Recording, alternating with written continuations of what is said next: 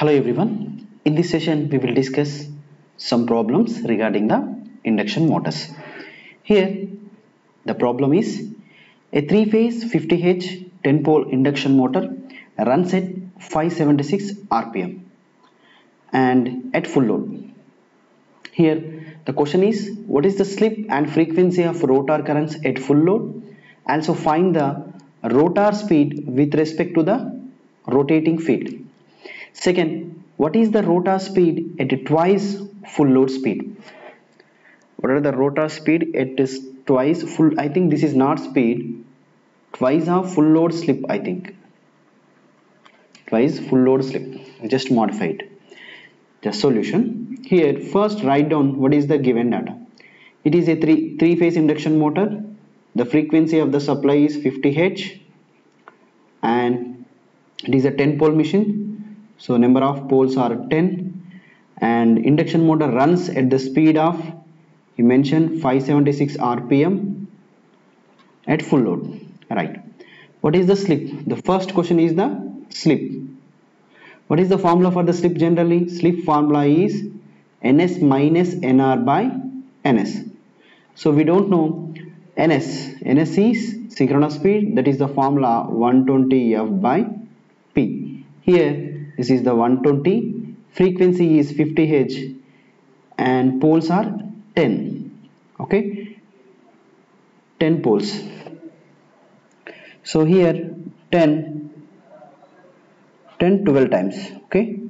12 5 ja the synchronous speed is 12 into 50 we have the 600 rpm just substitute in the formula that is 600 minus 576 by 600 minus 576 by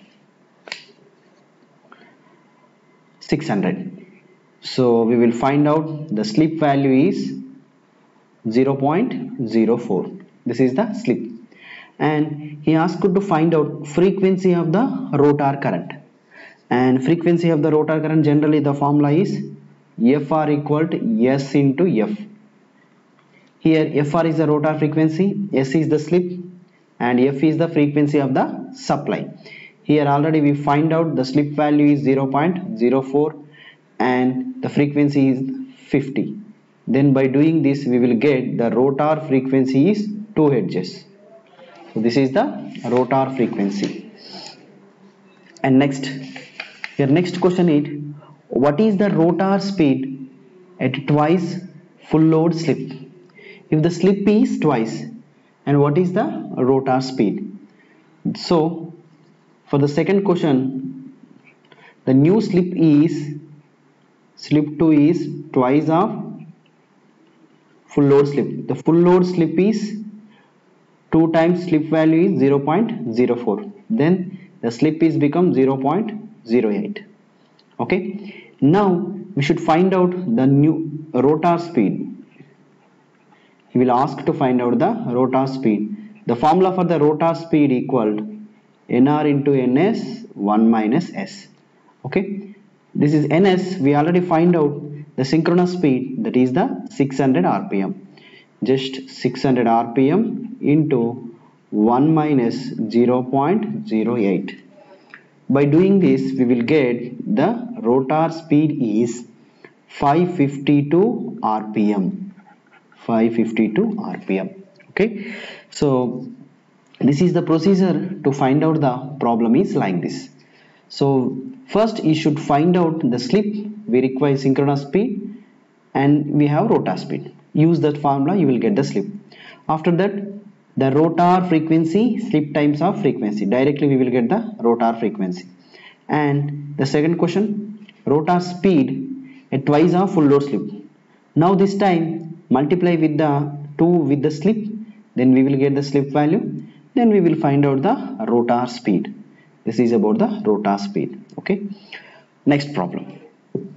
Here a three phase 50 Hz induction motor has full load speed of 1400 1440 rpm and for this calculate the following. First the speed of the stator field with respect to the stator structure rotor structure and second speed of the rotor field with respect to the stator structure and the rotor structure. Okay? So first write down the given data. So in this given data it is a three phase 50h induction motor has full load speed given the speed equal to 1440 rpm first thing. And first speed of the stator field with respect to the stator structure. First what is the thing? So first look at the stator here. So first look at the generally this part is the rotor. Just take it as assume as this shaded part is the rotor. And this shaded part is the stator just take it as this is the stator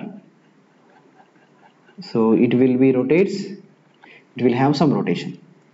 So the question is speed of the stator field. So generally always the speed of stator field. Stator field means what is stator field? What is the another name? Rotating magnetic field of stator stator rotating magnetic field. What is the value? That value? That value equal to generally always rotate with the synchronous speed. Stator field r or r speed of rotor field. Stator field as well as rotor field. Both are same. That is the synchronous speed. That is 120 f by p so here the 120 f means 50 the number of poles. He didn't mention poles but so we can take the poles is like this. If the poles is 2 if the number of poles is 2 substitute 2 here then what we will get? We will get the speed is 3000 rpm uh, if the number of poles are 4 the speed is become 1500 rpm if the number of poles are 6 the speed is become the 1000 rpm like that. Okay? So always poles are 2 4 6 like that. This is only even numbers only.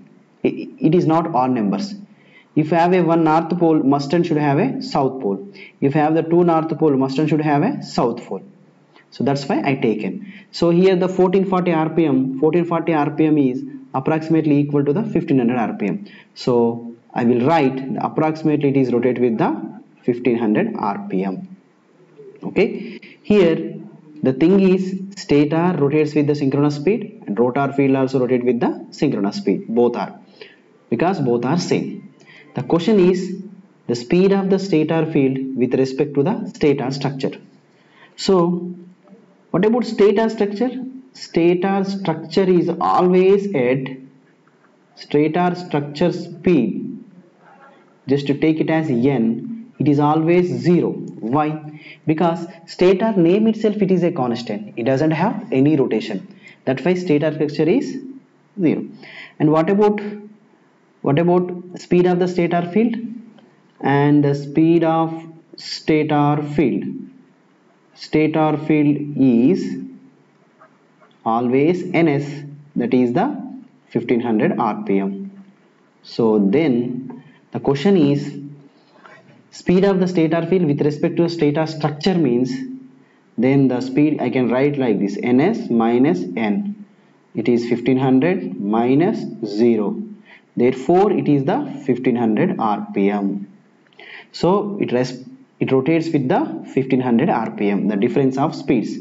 This is point a. What about point b? With respect to the rotor structure. So what is the rotor structure means? Nothing but the rotor only. So what is the rotor speed? We find out rot he given rotor speed is 1400 rpm 1400 rpm and what is the stator field speed? So you know the stator field is rotate with the synchronous speed.